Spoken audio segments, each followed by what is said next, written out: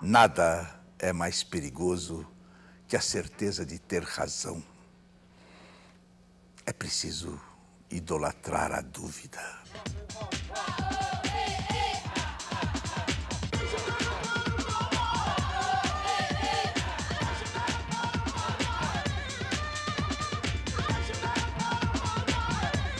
Provocações. O que fazer? Aqui estamos. Vejam só. Vejam só que pensamento. Em poesia, trata-se, antes de mais nada, de fazer música com a própria dor. Dor esta que diretamente não tem a menor importância. Quem disse isso? Paul Valéry. E embora muita gente ainda não tenha se apercebido, poesia é uma coisa muito rara, poesia é uma coisa muito difícil, é uma solidão espantosa, mal de nascença.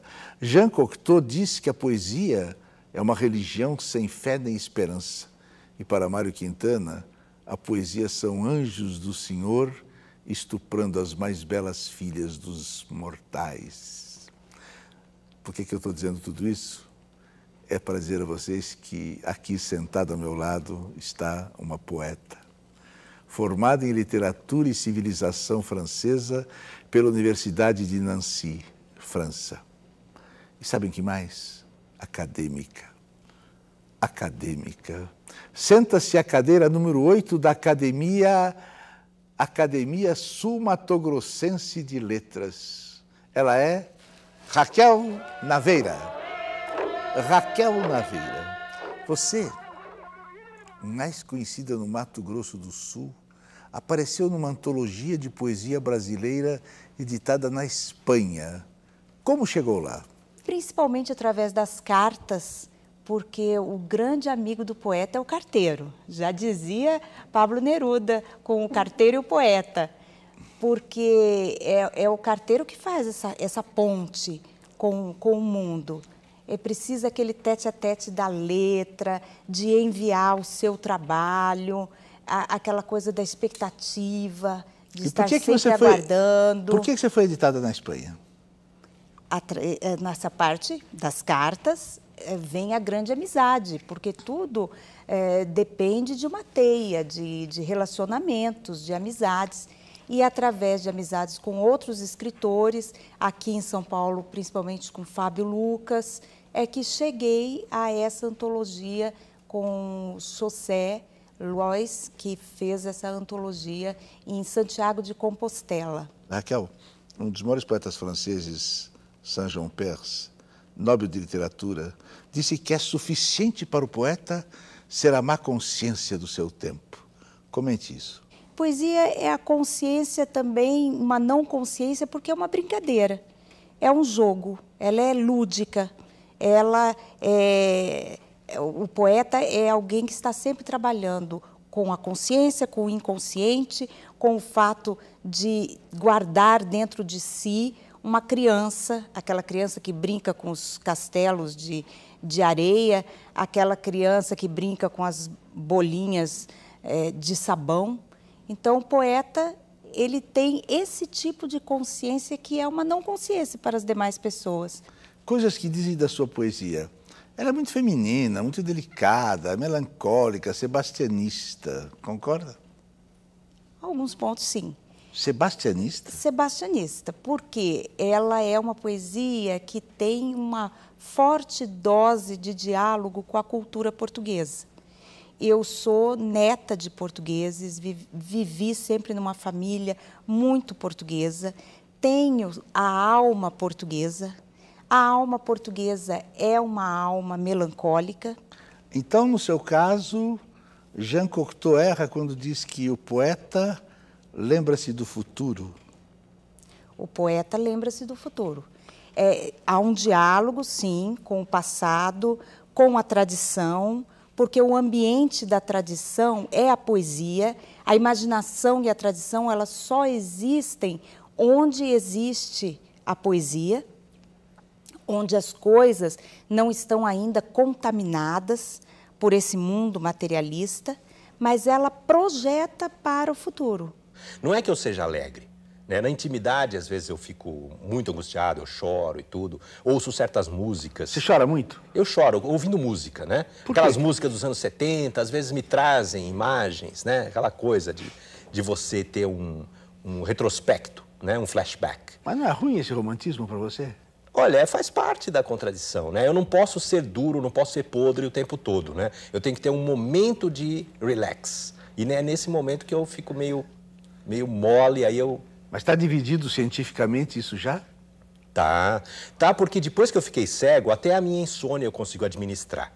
Porque é uma insônia que ela é produtiva. Traduza. É o seguinte, é, eu, eu tenho pesadelo toda noite, com a própria cegueira. Eu sonho que eu enxergo, colorido ainda por cima. E aí acordo pro, pesado, pro verdadeiro pesadelo, que é descobrir que eu estou cego na realidade. Quer dizer, o sonho é que devia ser a realidade.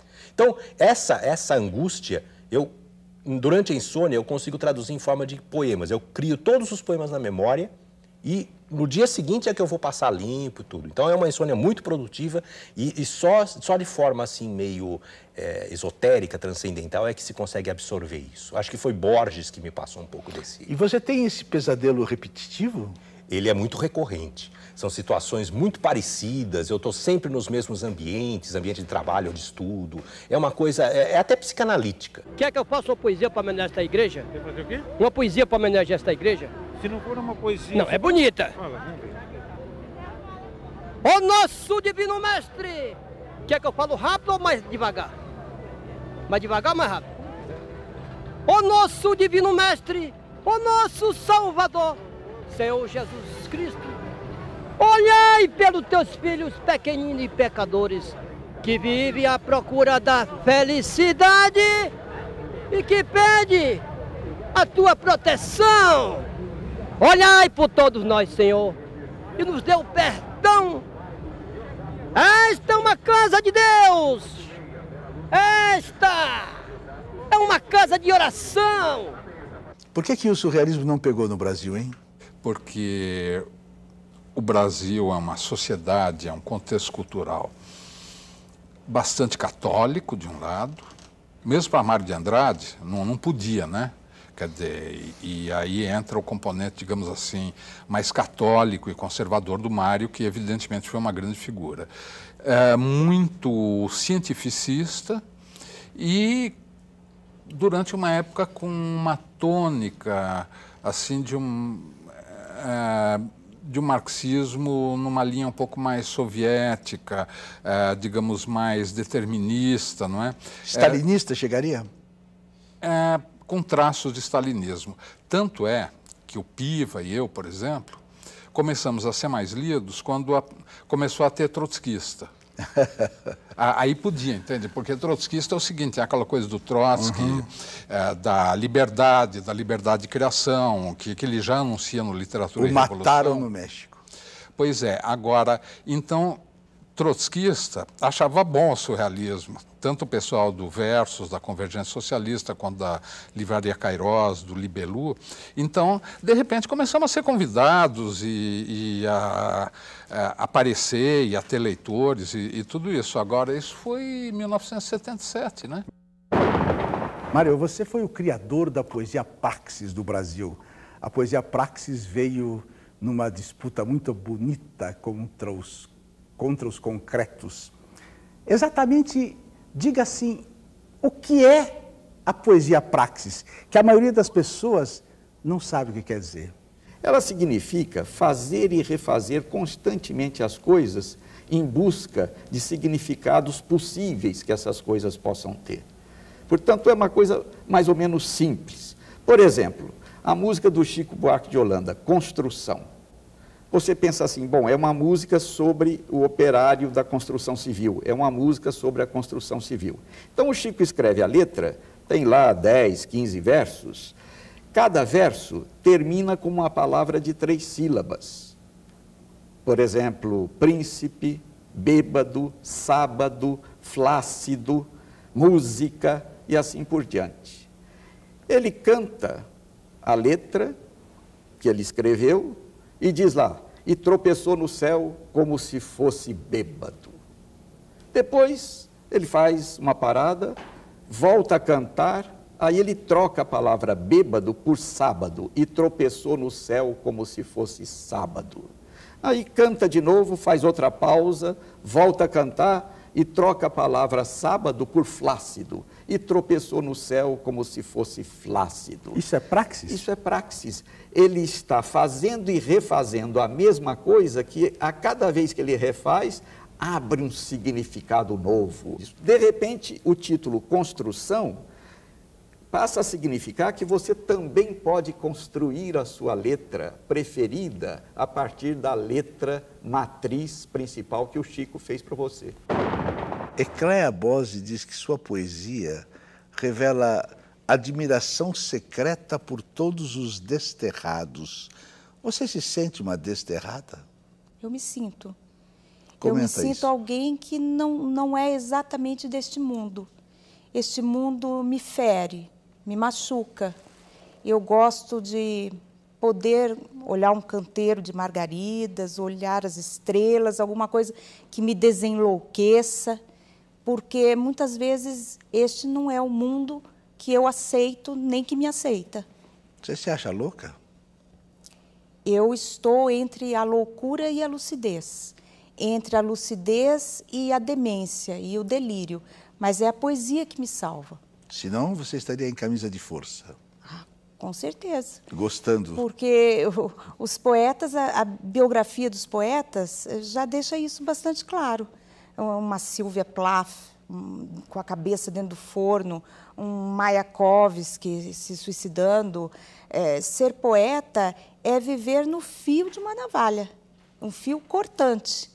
E a salvação é a sublimação espiritual através da poesia. Ser o homem é um caminho fio do cor- bem, o caminho do belo. Mas ser homem é um fio cortante também. Também a poesia pode salvá-lo. A poesia é uma necessidade do ser humano. Tão rara, não? Eu acho que eu consigo manipular bem a palavra, lapidá-la, não é? Porque o, o verdadeiro poeta ele consegue é, é, trabalhar a palavra como se fosse uma pedra, né? Ir lapidando, lapidando, lapidando. Eu acho que eu consigo fazer isso mentalmente. A palavra é fascista? Ela é uma camisa de força, então acho que de certa forma ela é fascista, mas é, a gente está sempre resistindo, né? Uma, há uma, existe um provérbio que diz que o proibido aguça o dente. Então, quanto maior o desafio, quanto maior a camisa de força, mais a gente eh, se debate para se ver numa- livre dela. Provocações. O que fazer?